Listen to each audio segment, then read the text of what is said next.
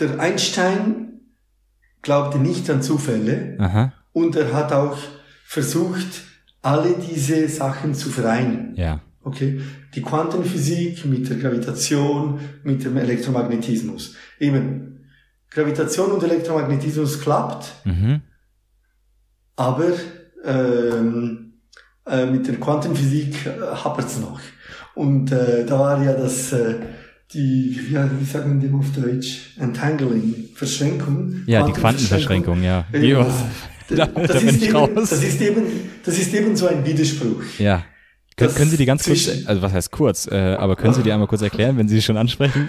Das ist, Also weil, sagen, das ist der Teil, wo ich sage, also wenn da wird es mir zu Kollegen theoretisch. Mich, wenn, wenn meine Kollegen hören, zuhören, dann muss ich mich bei ihnen entschuldigen, dass ich so Schrott erzähle. Aber gut, ich versuch's mal. Ähm, das ist, also man in der Quantenphysik hat die Materie Zustände. Mhm. Also, was soll ich sagen? Die befindet sich die, also in, in gewissen Zuständen. Äh, Die, die Geschwindigkeit äh, ist, hat zum Beispiel mit einem Zustand zu tun, also wie schnell sich die bewegt, aber auch eben die Polarisation des Lichtes Mhm. oder so Sachen. Gut. Das sind Eigenschaften der Materie und das kann bestimmte Werte annehmen. Mhm. Jetzt stellen Sie sich vor, ich weiß nicht, ob Sie äh, vom ja, Spin, das Spin der Elementarteilchen, Mhm. die haben so einen Drall, Mhm. oder? Stellen Sie sich etwas vor, das dreht, das hat einen Drall. Mhm. Oder stellen sich die Polarisation eines Photons vor. Das ist auch wie ein Drall eigentlich. Mhm. Aber gut, stellen Sie sich vor, Sie haben eine Kugel, das dreht sich nicht. Und das dreht sich nicht, aber Sie spalten jetzt das und Sie erzeugen zwei Teile, zwei Kugeln oder zwei Teile, Mhm. die drehen sich beide in entgegengesetzten Richtungen. Ja. Okay? Gut.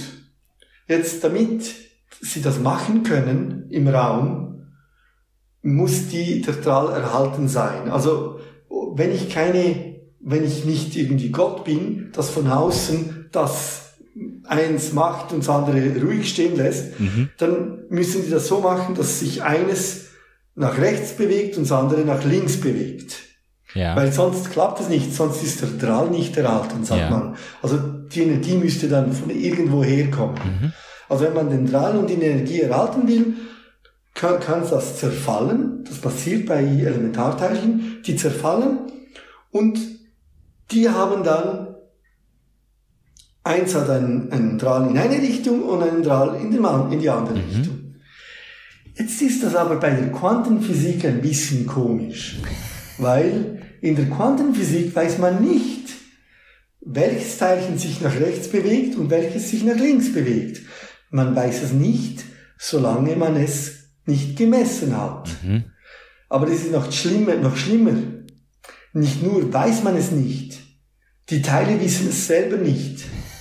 Man sagt, der Zustand ist nicht definiert, solange man es nicht gemessen hat. Das heißt, erst in dem Moment, wo Schrödingers Katze, erst in dem Moment, wo man es misst, äh, äh, Weiß man äh, es. äh, Dann ist, ist es es. nicht so, dass man den Zustand weiß, sondern der Zustand entsteht erst durch den Akt der Messung. Genau. Und jetzt Gut. Quantenverschränkung heißt, wenn ich eine Sache angucke, entsteht da ein Zustand und unmittelbar entsteht also bei der anderen Hälfte der umgekehrte Zustand. Genau. Also der umgekehrte oder der verschränkte Genau, Zustand, ja. weil diese Teilchen sind nicht unabhängig voneinander. Die sind verschränkt. Aber die Ich- können ich kann Milliarden von Lichtjahren entfernt sein. Und das ist der Widerspruch. Das ist der äh, Einstein-Podolsky-Rosenberg oder wie das heißt, Paradoxon. Aha. Das ist ein Paper vom Einstein. Das ist ein super, eine super Publikation, die ist zwei Seiten lang, extrem gut geschrieben, wirklich genial. Und da sieht man das ganze Genie vom, äh, Genie vom Einstein. Gut, er konnte das nicht akzeptieren. Mhm. Und äh, es heißt auch Paradox, Paradoxon oder Paradox. Mhm. Er sagte, gut, er hat so ein Gedankenexperiment gemacht in diesem Paper. Also gehen wir, wir haben ein Teilchen, das zerfällt Mhm. in zwei verschränkte Teilchen. Mhm. und die fliegen dann ganz weit auseinander weg, Mhm. so Lichtjahre. Mhm. Und da ist irgend so ein Mensch auf der einen Seite, das misst der Zustand eines Teilches, Teilchens. Das heißt, der andere muss unmittelbar wissen, welchen Zustand er haben muss, Richtig.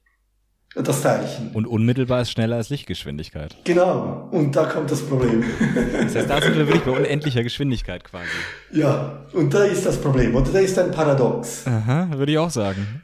Ja, gut, wenn ich da ganz ehrlich sagen muss, ich weiß gar nicht, wie man dieses Paradox äh, lösen kann. Also, wenn ich die Spezialisten frage, sagen sie mir, ja, ja, das ist gelöst, aber ich habe nie verstanden, wie.